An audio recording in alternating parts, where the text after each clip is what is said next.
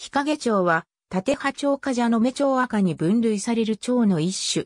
日本固有種で、離島を除く本州、四国のほぼ全域と、九州の一部に分布する。北限は、青森県十和田市周辺、南限は、熊本県阿蘇市。阿蘇山周辺の分布域は、飛び地状になっている。その分布域の多くは黒日陰と重なるが、黒日陰は4頭に分布し、産地を中心に分布するため低地ではあまり見られず、首都圏、近畿圏の都市部には分布しないのに対し、本種は東北地方北部及び九州では分布域が限られるが、関東以西の本州及び四国では、低地から山地にかけて分布し、蛇の道町赤の中でも比較的よく見られる。現在は亜種の分類はされていないが、かつては九州産は亜種、LS、バニリアルフルースターファー、1909とされていた。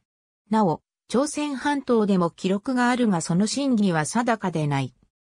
黒日陰に似るが、本種は地色が単色になることに加え、格子裏面の目状反門列に沿うように入る褐色体が黒日陰の型がより眼状反門列に近いところに入る点で区別できる。また、全身裏に蛇の目門が2個であることで黒日影もどきとの区別ができる。格子中央の毛は、正標で、オスにのみある。またメスは、オスより羽形が幅広く、地色はやや単色で、前肢の斜白帯がより明瞭に入る。成虫は、年2夏で、初夏から初秋まで見られる。黒日影より明るいところを好み、花をあまり好まず、樹液や腐った果実などに来る傾向が強い。